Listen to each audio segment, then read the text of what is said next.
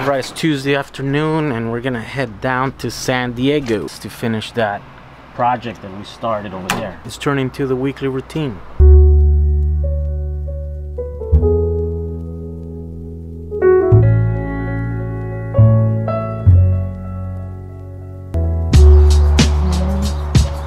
Alright, another morning. Here's one electric vehicle charging. Hey, someone opened my thing? Uh, Someone I- tried to steal your battery and they're like, what the?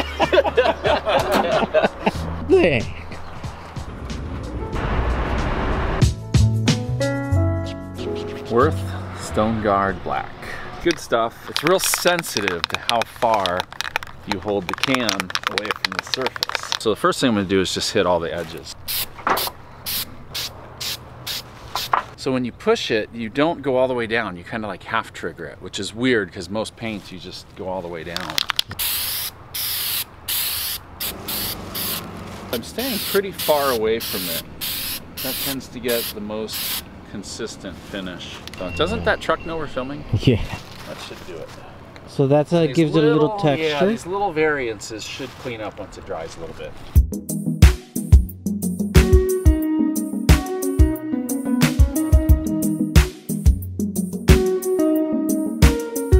I probably wouldn't film this. It's so ugly.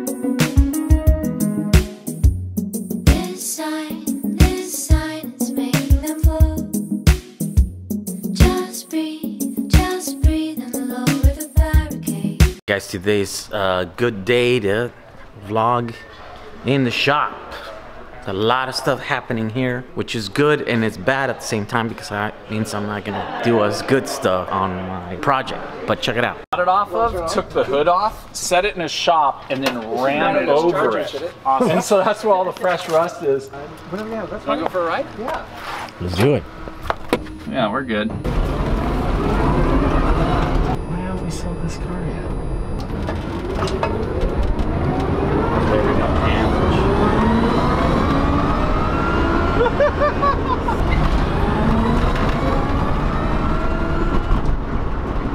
Smell something?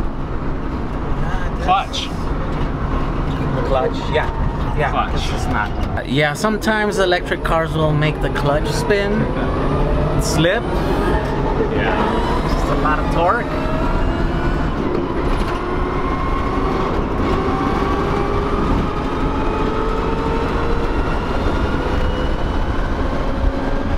Does it show negative amps? Actually shows them as positive. Oh, positive. yeah. And I'm I'm so fing jaded from my car. you know? So that's what I was thinking right now. Do you ever hit the top when you're accelerating? Or Uh, I have, yeah. Oh, have? Yeah. Up hills. Pretty much hills. has to be up the hill.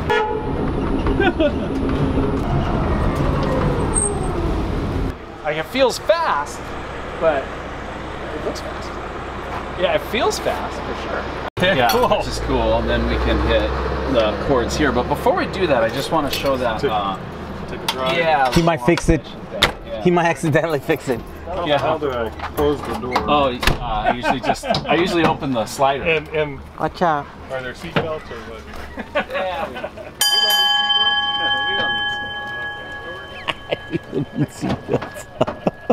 It's time to do the contactor box. Boom.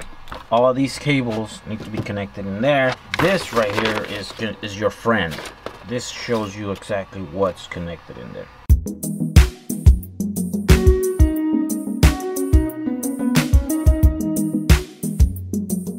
All right, Friday night. We got so close to finishing, but good, we're gonna have to come back next week. All right, so check it out. Here's an update on the Ghia. That is the front battery.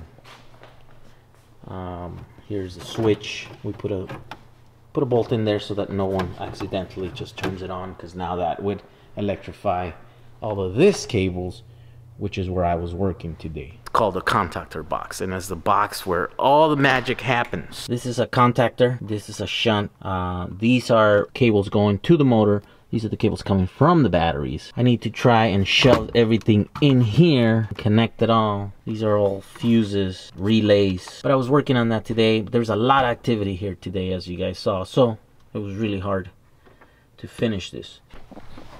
Here's the back of it. This one didn't get any work done this week. Yeah, yesterday I was working on this new battery. Actually, I Instagram about this battery here of these uh, pouch cells. 30S 1P, uh, 5 kilowatt hours, something like that. It will do 80 kilowatts of power, so 700 amps, at least 700 amps, 111 volts. I was working on this guy so that we can monitor them because we this actually will run a full car at full power, which is pretty crazy. And we need to charge them all the way to 4.2 and put them in a car and go test drive them. Maybe next week. And then there is this project here. This project's gonna be pretty cool. It's gonna be a proper Baja. It's gonna have proper Baja power. And I know what the VW people are gonna say, this ain't right, but once you know the whole story, I think you guys are gonna like it. See that? That's chrome. chrome. Chrome. Even the clutch little paddle thing here is chrome. um, look at the seats. Right, so another four day week down here trying to get this thing done. I'm gonna turn this light off. Um, right now we're about to head up to Rancho, so we got at least a couple hour drive. Oh, this lens, this lens sucks. All right, Michael, we'll see you next week. Yeah, man. Guys, by the way, I know I owe you a BendyPOD update. The reason why I haven't updated you guys is because even though we've gained some orders in the last couple of weeks, we've also lost some orders. Uh, there's all those people that didn't pay attention to what they were ordering, and so they placed claims on undelivered product, right? So they're like, hey, we ordered last week, why we haven't gotten it? I'm refunding those people or whatever. There were just people that got tired of waiting and stuff, and so then they're canceling their order. Anyways, as we stand, it's almost the same from the last time that I uh, updated the website and stuff. And so that's the reason why I haven't updated it because it seems like we're not moving, you know, we're not moving up or down. It's just kind of staying at the same.